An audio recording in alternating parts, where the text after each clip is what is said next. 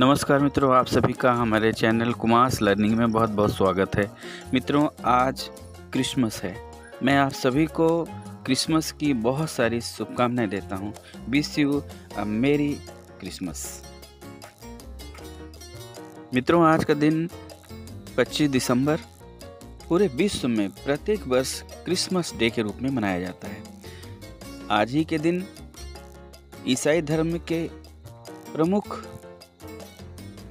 Jesus Christ का जन्म हुआ था और उनके नाम क्राइस्ट पर ही आज के दिन को क्रिसमस डे कहते हैं। Wish you all a very happy and cheerful Christmas day Jesus Christ को ईसाई धर्म में भगवान का बेटा भी कहा गया है। वो दुनिया की सबसे ज़्यादा स्नेहमयी, दयालुता और करुणा से भरी हुई मूर्ति थे।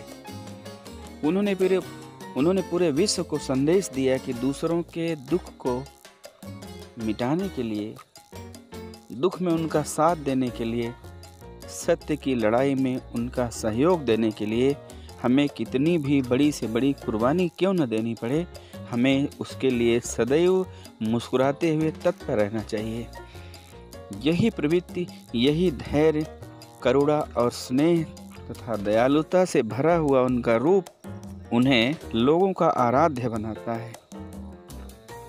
पूरी मानवता ईसा मसीह के व्यक्तित्व से, उनकी कथाओं से सदैव प्रेरणा लेती रहेगी और विनम्रता कैसे किसी के हृदय पर विजय पा सकती है?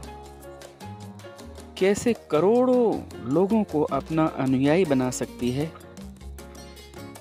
कैसे करोड़ों लोगों के दिल में ईश्वर के समान राज कर सकते हैं, ईश्वर के समान आराध्य बन सकते हैं, दुनिया को अपना चहेता बना सकते हैं, दुनिया पर वास्तविक विजय प्राप्त कर सकते हैं, आत्मिक विजय प्राप्त कर सकते हैं, समर्पण प्राप्त कर सकते हैं। ईसा मसीह का व्यक्तित्व इसकी मिसाल है। उनके व्यक्तित्व से न केवल करुणा, मानवता और स्नेह की प्रेरणा मिलती है बल्कि दुख और मुसीबत को झेलते हुए भी सच्चाई की राह पर कैसे चला जा सकता है, इसकी बहुत बड़ी सीख मिलती है।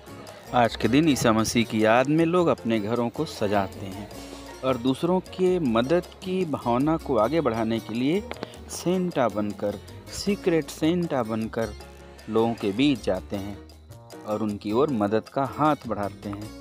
यही भावना पूरी दुनिया को स्नेह, प्यार और मानवता की मज़बूत डोर से बांधे रखें। Once again wish you all a very